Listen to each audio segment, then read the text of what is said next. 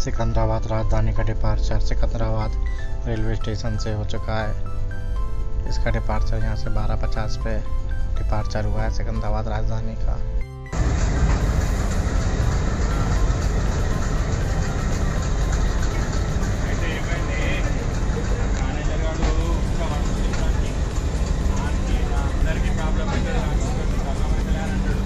Molali.